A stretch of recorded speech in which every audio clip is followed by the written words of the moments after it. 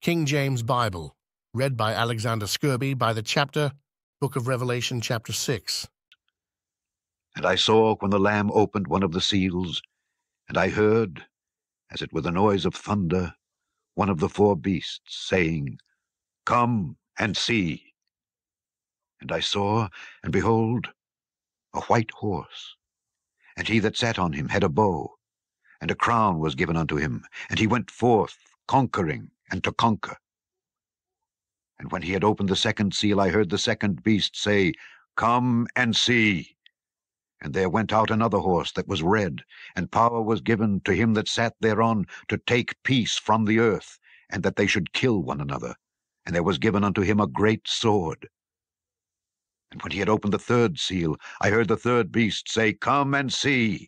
And I beheld, and lo, a black horse, and he that sat on him had a pair of balances in his hand. And I heard a voice in the midst of the four beasts say, A measure of wheat for a penny, and three measures of barley for a penny, and see thou hurt not the oil and the wine.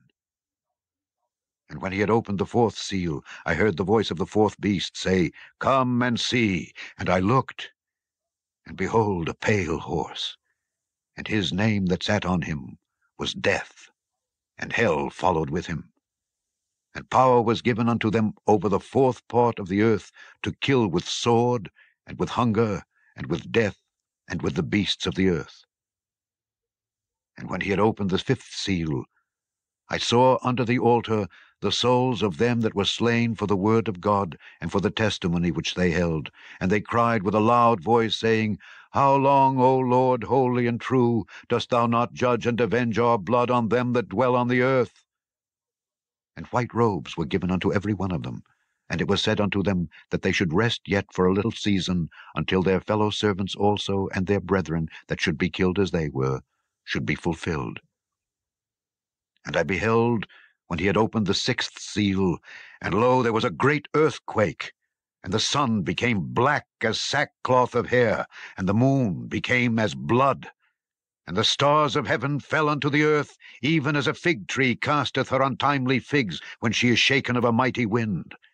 And the heaven departed as a scroll when it is rolled together, and every mountain and island were moved out of their places, and the kings of the earth, and the great men, and the rich men, and the chief captains, and the mighty men, and every bondman, and every free man, hid themselves in the dens and in the rocks of the mountains, and said to the mountains and rocks, Fall on us, and hide us from the face of him that sitteth on the throne, and from the wrath of the Lamb.